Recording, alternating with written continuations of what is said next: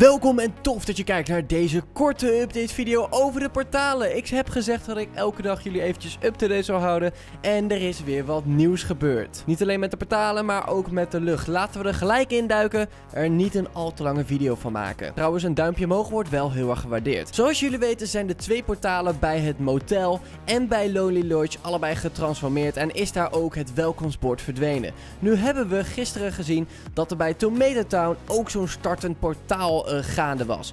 Nu is het slechte nieuws voor heel velen tenminste dat het tomatenhoofd weg is gegaan door zo'n explosie. Er zijn ook clips van dat het gebeurt. Echt best wel vet eerlijk gezegd. Maar het is ook wel jammer dat hij weg is. Ik bedoel, heel veel mensen vonden het super tof dat dat er was. En er was er natuurlijk ook een skin op gebaseerd. Zie je ook in deze clip dat het echt chaos was nadat hij weg was. Echt super grappig om dat te zien. Oké, Tomato Town is dus een soort van kapot gegaan. Tenminste, een klein beetje in ieder geval. Maar waar is het nieuwe portaal? Het nieuwe portaal staat in Retail Row. Holy damn. Oké, okay, Row, rest in peace. Het wordt dus volledig veranderd waarschijnlijk. Zoals we ook aangaven bij de andere locaties.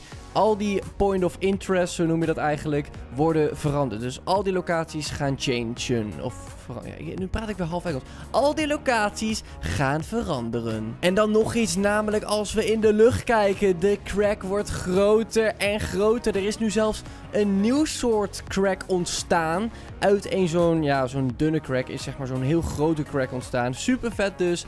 We weten nog niet heel goed wat het is. Waarschijnlijk dus iets met tijdreizen. Maar het is nog te onduidelijk om daar iets over te zeggen. De enige die dat weet is Epic Games. Maar hey, we kunnen wel speculeren. En ik denk dat het iets met tijdreizen te maken heeft. Dat was de video dan alweer. Wat wordt de volgende locatie van zo'n portaal? Laat het achter in de reacties. Ik persoonlijk denk dat het Greasy Groove gaat worden. Maar hey, wie weet wordt het een heel andere locatie. Doe nog eventjes een duimpje omhoog. Wordt heel erg gewaardeerd. Abonneer natuurlijk op ons kanaal als je dat nog niet hebt gedaan. Want we zien dat de helft nog niet geabonneerd is. En we gaan over enkele weken kijken wanneer we dit constant zeggen. Hoeveel het dan is. Ik hoop iets van 40%.